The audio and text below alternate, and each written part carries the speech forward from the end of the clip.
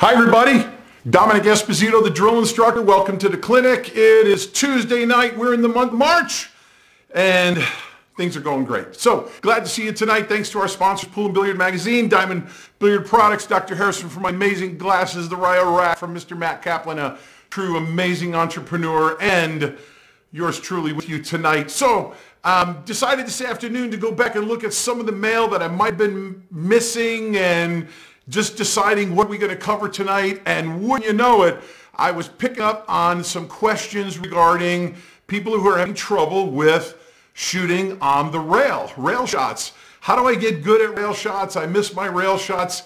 Can you give me some, someone to talk to you tonight about just how to master rail shots. So pay close attention. We're going to get into this a little bit quick. What I'm going to do tonight is I'm going to actually teach you how to develop the skill of shooting rail shots so you can master these rail shots and and uh, just kind of follow on, okay? Because this may be something you really hadn't thought of. You advanced players, especially when you're helping these younger, skilled, lesser skilled players, if I could say it that way, uh, this is going to really help give you some direction. Now, one of the things that happens that causes confusion or the fear of shooting rail shots is the cushion. This is the cushion, okay?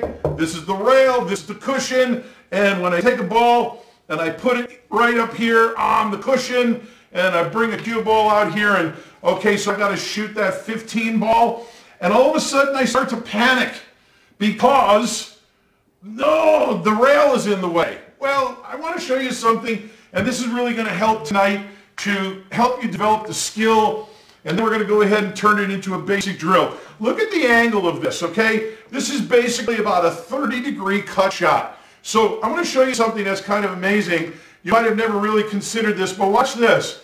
Same shot, same shot, same shot, same shot, same shot, right there. There's the same 30 degree cut shot. Now you might look at that and go, oh, Dom, that's no really big problem. No, no, no, no, I'm not afraid of shots like that. It's the shots that are on the rail that are really hard.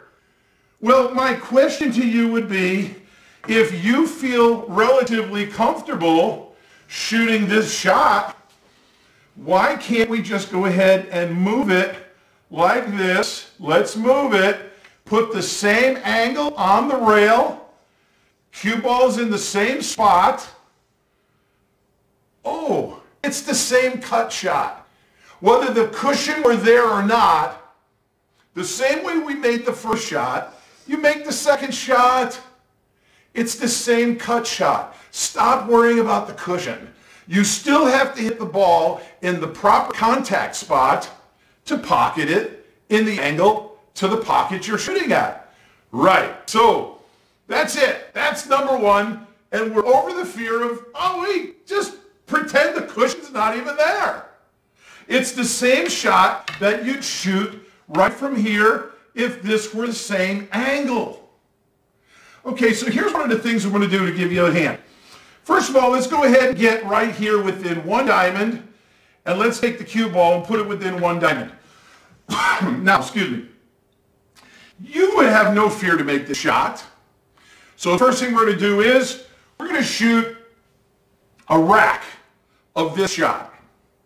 So one, two, three, four, five, the whole rack, 15 balls.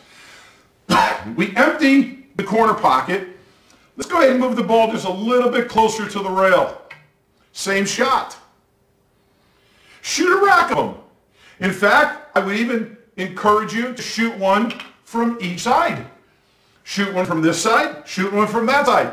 Shoot a rack of these, shoot a rack of those.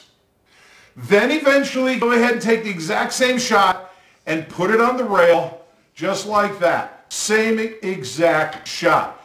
You say, well, that's, that's not my problem. The problem is uh, when the balls are that close, that's no big deal.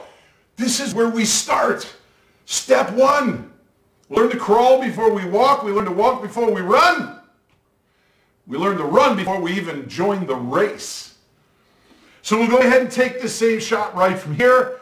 Make that ball inside the pocket. We'll go ahead, we'll take this shot from here. Same thing, make that ball. But you've already been shooting these shots from being out here like this, okay? Put a little angle on them like that. until eventually you began to walk them closer and closer to the rail and you were building up not only your skill level, but your confidence level. Then I want you to go ahead and take this and add a half a diamond to the shot. And go ahead and take the cue ball and pull it away a full diamond from the shot. Go ahead and work on a rack of these. Now, if you start to feel like you keep missing too many of them, take it off the rail and go ahead and just get back to making some of those cut shots. And then eventually slide it back to the rail. Now, the next thing that's going to happen is we're going to take it back to two full diamonds. And then we'll take it back to two and a half diamonds. And then we'll take it back to three diamonds right here. And then eventually go ahead and, and, and, and let's go ahead and add a little bit of distance. But if you will start small and short and easy, simple, and then create distance, you give yourself the confidence to what you're doing. Now, that's the first thing I want to help you understand, how to get over the fear of being in the rail. Now, the next thing I want you to do is once you start to go back to this building confidence level, the next thing I want you to focus on here, I'll bring out a couple more cue balls for this now, I want you to get into the habit now, next, of taking the same shot. This time we're going to learn how to add some inside left English. And we're going to learn how to make those. The next thing we're going to do is, again, shoot a rack of those. Shoot a rack of those. The next thing we're going to do is we're going to learn how to use a little bit of bottom withdraw. And then we'll actually even use to learn a little bit of outside where we're actually turning the ball in. Now, once you have become confident with this, add that half a diamond all over again. Add the two diamonds, go to two and a half diamonds, go to three diamonds, and go ahead and bring that cue ball back. Continue to work on shooting with inside English, bottom English, even go ahead and use some top, top inside, and then even some outside. Now outside is a little bit more difficult, but don't start that right away because it's too easy when you're spinning with the outside to throw the ball out of the cushion instead of down the cushion. Now, the next thing I want to show you, which is a really cool little way, if you're just warming up, you're, you're, you're getting ready um, to do some of your warm-up drills, here's a little bit of something you could do that's kind of fun. Just put a ball on each side, take cue ball, put it in the middle of the table, and then from here, go ahead and, and actually work on hitting the first shot right here. And again, don't be afraid. If you miss, no big deal.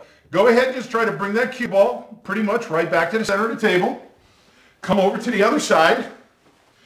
Now, remember, a couple of weeks ago I started talking about ways to lean into the table properly.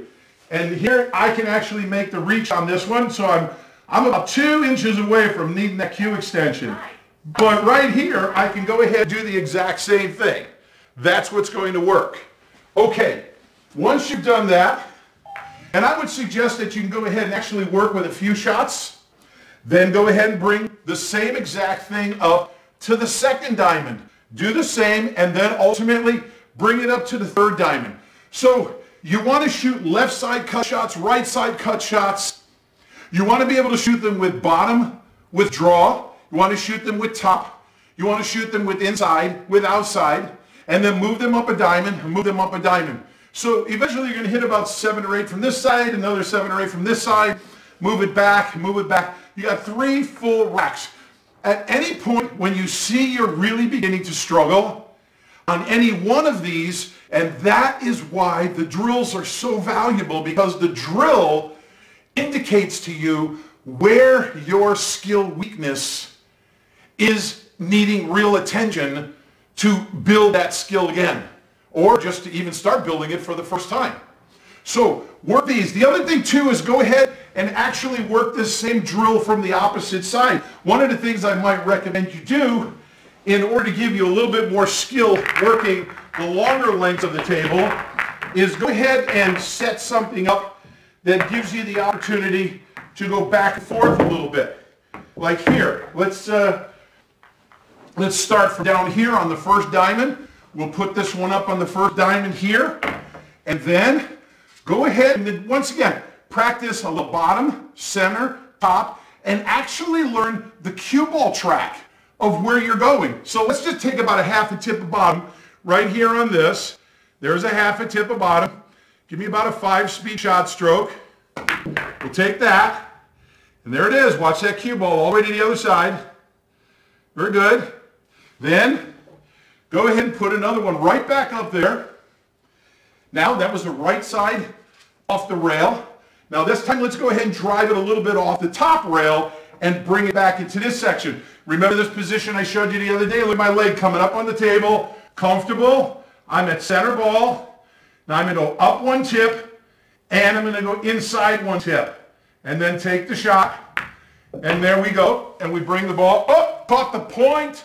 Hey, these are the really good things that we actually will learn about the better way of which cue ball path to be driving to. And then from that position there, just go ahead and put another ball up on this stop and continue to work yourself back and forth, back and forth. And at that point, you're going to give yourself the opportunity to learn confidence from off the side rails, a little more confidence from off these top rails, and that's what we really need to be doing. Boy, talk about getting close to my work. Woo! That's a close one. I can get away with that one. But in the meantime, for everybody else that's here, Want to thank you so much. Go in the hole, baby. Oh, we missed. Not bad, but that's why we really want to work on the rail shots. I work on regularly, and so should you. So again, remember, start short, bring some length. If you're not satisfied with the, the, the result, reshoot it, reshoot it until you're really happy with what you see the cue ball path doing after you pocket the ball. And then, of course, where, at what point and what distance might you be having any difficulty um, being able to see it? And remember, if you start having any trouble on the cushion, take the shot off the rail five or six inches and just reshoot it as a standard cut shot. That's really all we need to be doing, okay? So listen, everybody, um, this is a part of the, the process of building the skill, but it doesn't take long at all. Within a month, you're going to be completely uh, confident with what you'll be doing with shooting off, off the rails. And of course, there is a more advanced level that we will get to at some point about shooting rail shots. And um, right now, we really wanted to get to the basics and mastering mastering rail shots. Okay, everybody, I love you. God bless you. Remember, aim straight, shoot straight, split pockets, and do the drill instructor way. And I look forward to seeing you next week. Have a great rest of the week, everybody. God bless you. Bye-bye.